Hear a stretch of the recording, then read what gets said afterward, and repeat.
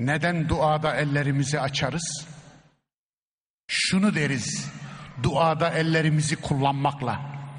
Ya Rabbi bu elleri sana açtım çünkü bu ellerden geleni yaptım. Elimden geleni yaptım. Elimden bundan başka bir şey gelmiyor ya Rabbi. Bak ellerime. Siz peygamberimizin duayı öptüğünü biliyor musunuz? Siz hiç dua gördünüz mü? Böyle öpmek için Peygamberimiz ömründe iki el öptü. Bu iki elin özelliği neydi biliyor musunuz? Dua olmuş el idi. Biri çalışmaktan nasır bağlamış bir sahabinin eliydi.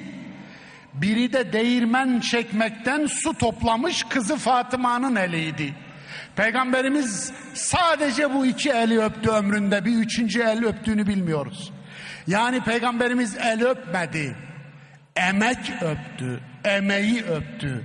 Emek duadır. Aslında dua yapıldı. Dua beş senedir yapılıyor. Ama bendeniz, bendeniz bu duanın üstüne duanın bir de Fatihası olsun için dünyanın tüm tarihin en güzel duasını size yapacağım. Amin. Bismillahirrahmanirrahim. Elhamdülillahi Rabbil alemin. Errahmanirrahim. Maliki yevmiddin. İyyâke na'budu ve iyyâke nesta'in.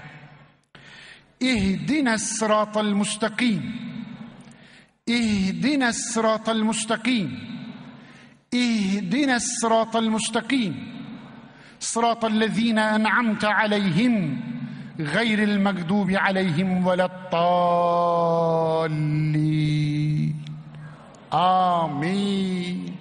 bir daha amin. Allah kabul etsin